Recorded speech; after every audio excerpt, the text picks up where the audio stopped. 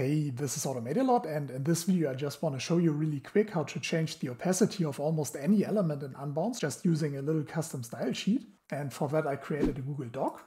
Link is down in the description and it looks like this. So here I have the style sheet and what you have to do is just replace this element ID part with the ID of the element you want to have the changed opacity on.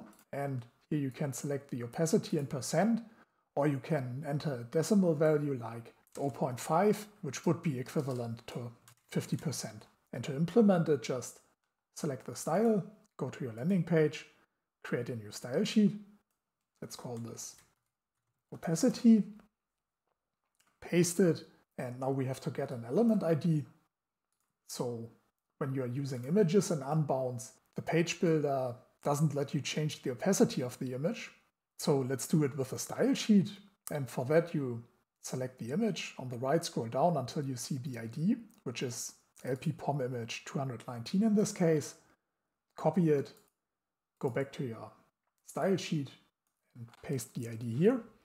And as opacity, let's select 35%.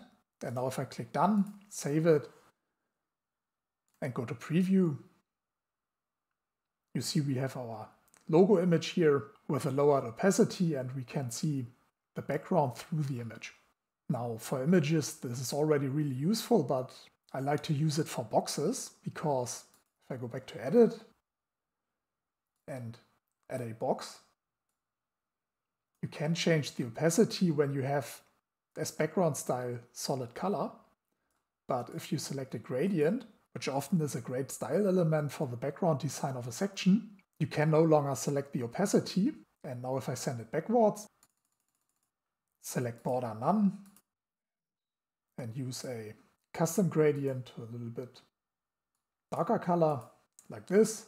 I can just go back to the style sheet, add an extra line. So just copy this line here, paste it, and now here you just enter the ID of the box. So when I click done and select the box, on the right I scroll down and here it's LP POM box 287.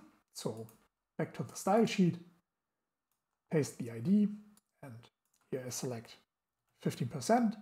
And now again, if I click done, save it, and go to preview, you see we still have our logo image with the lowered opacity, but now we also have this box with a gradient and also lowered opacity. And this works for text elements, for buttons and almost any element on your Unbounce landing page.